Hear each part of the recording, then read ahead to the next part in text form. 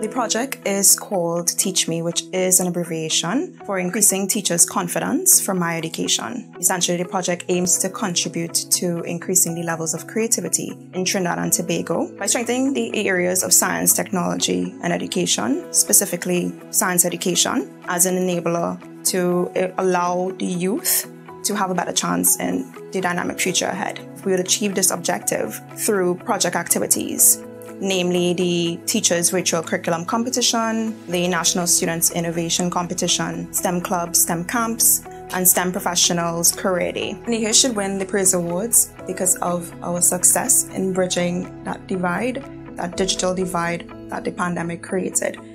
Our success rates with student and teacher engagement and building and developing those 21st century skills to better prepare students for work, life, and their future.